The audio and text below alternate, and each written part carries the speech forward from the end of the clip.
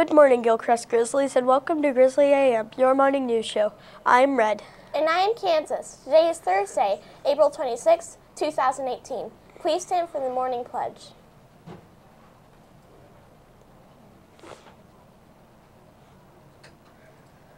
I pledge allegiance to the flag of the United States of America and to the republic for which it stands, one nation, under God, indivisible, with liberty and justice for all.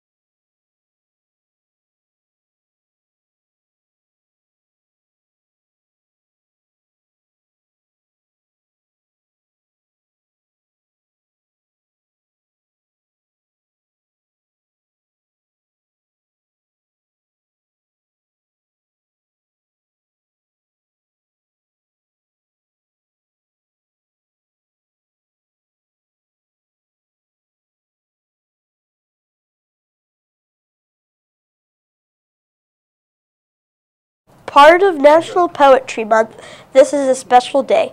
Be sure to have a poem in your pocket and share it with a friend, a teacher, or your family. It can be a poem you have written or a poem by someone else. Have several in your pocket so you can share the joy of poetry. Miss Gibson and Miss Spangler will be sharing poems all day in the Media Center. Come by to get a poem and then pass it on. It is now time our uh, for our PBS winners with Miss Sumner. Good morning, Grizzlies. Today, we celebrate our fourth grade winners who were caught being respectful, responsible, safe, and being a team player. So, without further ado, let's congratulate the fourth grade winners. Cole from Miss Adams' class, Callahan from Miss Gordy's class, Dylan from Miss Daly's class, Tegan from Miss Brown's class, Kyler from Miss Botini's class, and Lori from Miss Williams' class. Make it a great Grizzly day.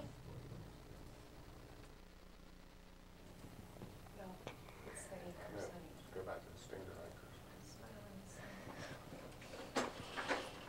Now it is time for the AR Corner with Miss Crow.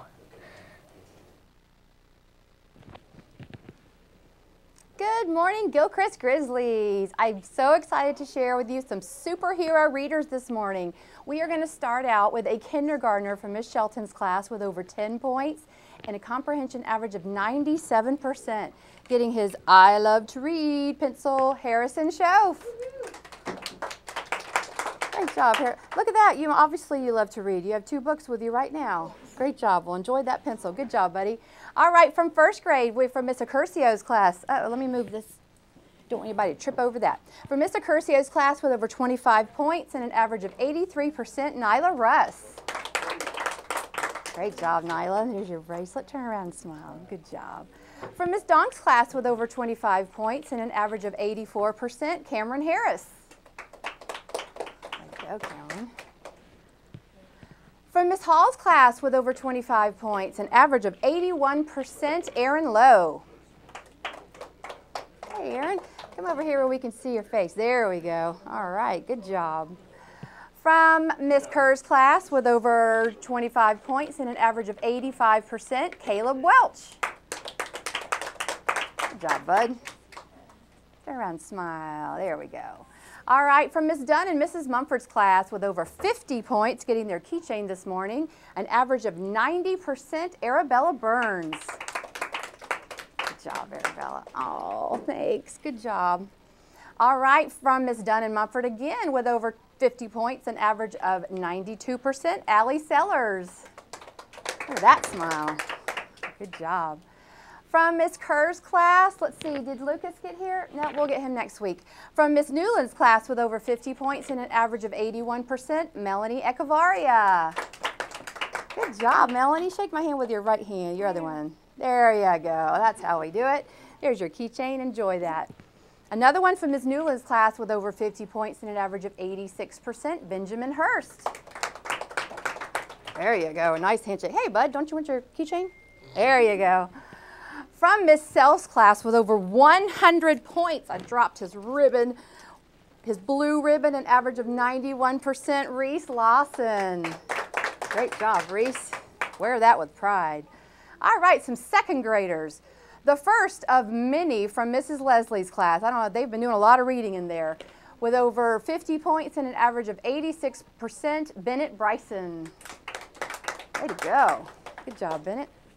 From Miss Leslie's class with over 50 points and an average of 89%, Connor Heron. Great job, Connor. Turn around, smile at that camera. Good job. Another one from Miss Leslie's class with over 50 points and an average of 82%, Hamilton Lacera. Great job, Hamilton.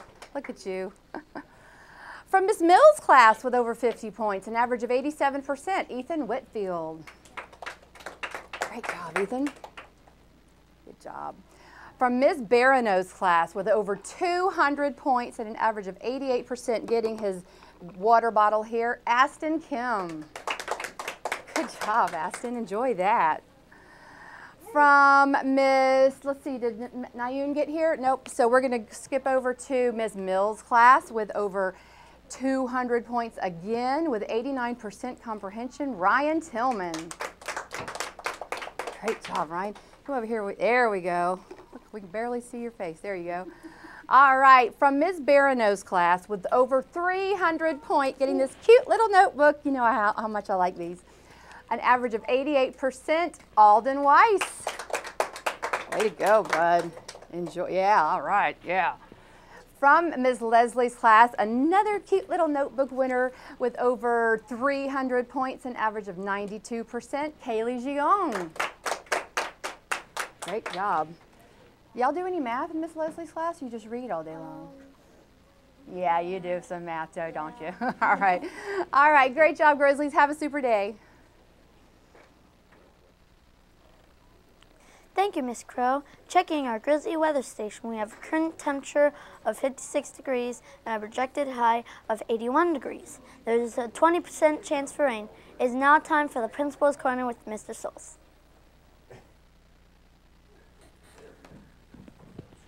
Good morning, Grizzlies, and a happy Thursday to everybody today. What a fantastic day today is.